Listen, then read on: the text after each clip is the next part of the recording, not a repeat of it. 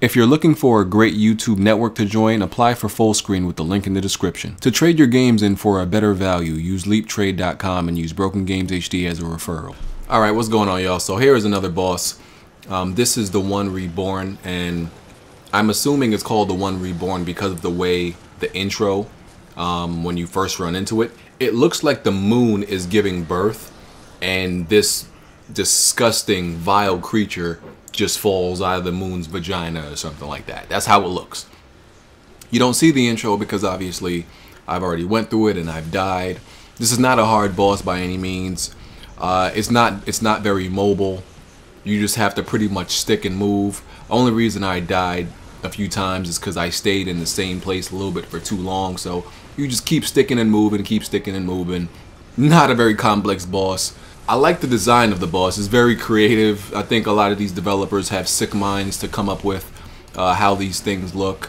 But um, yeah, not hard at all. On the sides, you got a few uh, spellcasters uh, shooting fire projectiles at you. So you just have to watch out for those also. Um, if you saw me running around, I was looking for my, my, my souls or my blood echoes at first. Um, I forgot where I dropped it, where I where I died the first time, and I was also going through the um, they're trying to go through the menu system because I think there, I thought there was an item that could like restore my stamina. I think there is. I couldn't remember, but I was just trying to, you know, go use it real quick because almost died right there. That would have pissed me off. Um, but yeah, sometimes when you get actually get into a position where you want to inflict major damage on these enemies, uh, you're out of stamina, so you just end up doing these really slow swings or whatever single swings. And I heard this en this enemy is very parryable. I didn't try it that much. It really wasn't necessary, but it, yeah, I heard he's he, he's easily parried. And it's like a skeleton riding a huge, you know, lichen, skeleton lichen or something. I don't know what the heck it is, but it's disgusting. So this is the this is my 11th boss. We're getting close. We're getting close. What I am going to try to do is um, I know how to get the best ending for the game. I've looked it up and everything, what you need. Uh, and there's an optional boss too. You have to do certain before you get to the to the last boss in the game. You have to do a few tasks, get a few items um, before you get there, and then you will you will get like the true ending to the game, and you'll get the true optional boss. So which is not what I'm trying to get. And I'm also trying to see if I can actually get the platinum to this game it doesn't seem very hard. If I can get the platinum, that would be great.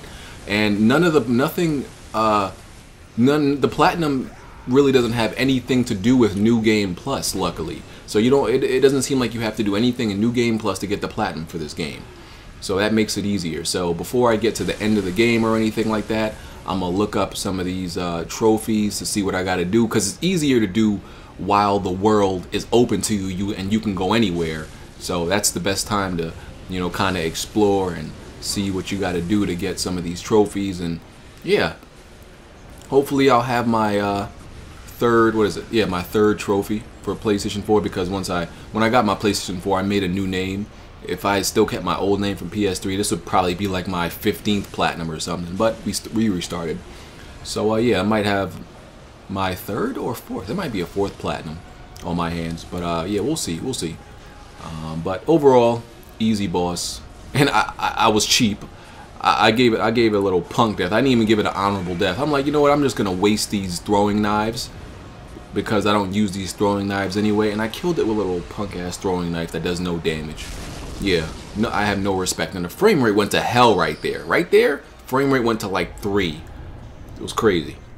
So yeah, I'm out of here, y'all. Peace.